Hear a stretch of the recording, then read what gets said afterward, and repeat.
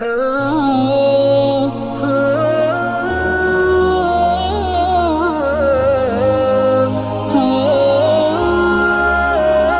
अगर कुबत सखरा गिरा दिया गया तो मस्जिद अक्सा गिरा दी गई, फिर जो होगा, तूफ़ान जो आएगा, उससे फिर एक बहुत अजीम जंग का मामला। इस हदीस में अलमलहमतुलमा कहा गया। अजीम तरीन जंग। ये दोनों हदीसें मेरे पास हैं, इनका टेक्स्ट भी है, तर्जुमा भी है, मुस्लिम शरीफ की रिवायात है। लेकिन इन जंगों में जितना बड़ा नुकसान होगा, जानी उसका अंदाज़ा कीजिए। फयकतलूना मख्तलतन फिर वो ऐसी जंग करेंगे, ऐसी जंग, लम इसलुहा जो कि कभी दुनिया में नहीं देखी गई।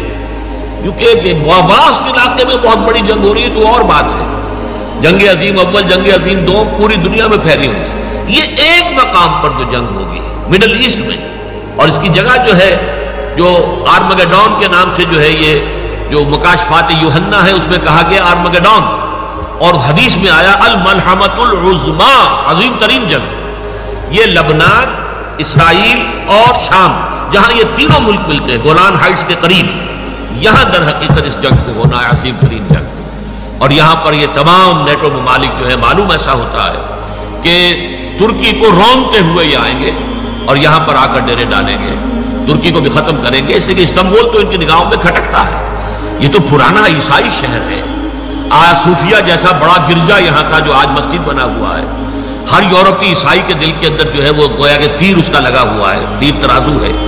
यही वजह है कि वो किसी सूरत में भी यूरोपियन यूनियन में टर्की को शामिल करने को तैयार नहीं है। चाहे तुर्की हर एतबार से अपने आप को यूरोपीय साबित करने की कोशिश करे, लेकिन नहीं। वहाँ जो है औरतों के लिए सरप्रस्कार मानना भी ममनू कर दे, तभी वो उन्हें अपने साथ शुमार करने को तैयार नहीं है। इसलिए नक्शा जो है, आने वाला, उसको अच्छी तरह समझ लीजिए कि इसमें जैसा कि हदीस में आता है, जजीरा नुमाए अरब में भी बहुत बड़ा तूफ़ान आएगा। और सिर्फ़ मदीना मुनवरा जो है, और शायद उसके नीचे मक्का मुकरमा ये हिजाज का इलाका बचेगा, बाकी पूरे पर जो है वो दुश्मनों का कब्जा होगा। और ये तमाम ममालिक जो है ईरान, ये तुर्की और इराक का मामला, ये सब का सब भी इनके कब्जे में आ चुका होगा, ये बड़ी जंग होगी। उसमें अल्फाज ये आए हैं, हत्ता यखिर मैतन हत्ता अन्ना तायरा में जो से ही फला यफनफू हत्ता यखिर्रा मैतन फ़ैतात बनुल अब कानू मेतिन फला यजदून बकिया बिन इल्ला रजुल वाहिद। इतनी लाशें होंगी कि एक परिंदा उड़ेगा, उड़ता रहेगा उड़ता रहेगा?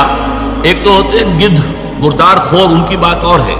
एक परिंदे, चिड़िए, ये बड़ी निफासत पसंद होती है, ये गंदगी के ऊपर नहीं बैठती नहीं उतरना नहीं चाहती। लेकिन ये कि लाशों से और उनकी बदबू से वो पूरा इलाका इस बुरी तरीके से मुताफिर होगा कि परिंदा उड़ता जाएगा उड़ता जाएगा उड़ता जाएगा, उसे उतरने की जगह नहीं मिलेगी। यहाँ तक कि थक कर वो मुर, मर कर मुर्दा होकर नीचे गिर जाएगा तो एक लाश के ऊपर गिरेगा। और उसके बाद जब गिनती की जाएगी तो एक शख्स के सौ बेटे होंगे तो उनमें से एक बचेगा। यानी खानदान मुराद है। एक एक दादा के, फ़र्ज़ कीजिए के पोते, या परदादा के पड़ पोते जो है, सौ थे। नाजरीन, उम्मीद है आपको आज की हमारी वीडियो पसंद आई होगी। लिहाजा वीडियो को लाइक कीजिए, दूसरों तक शेयर कीजिए और कमेंट सेक्शन के अंदर अपनी राय का इजहार ज़रूर कीजिए। फिर मिलेंगे इन अज़ीज़ ऐसी ही नायाब मालूमती वीडियो के साथ तब तक के लिए इजाज़त दीजिए अपने मेज़बान मुफ्ती रिजवान को, अल्लाह निगहबान।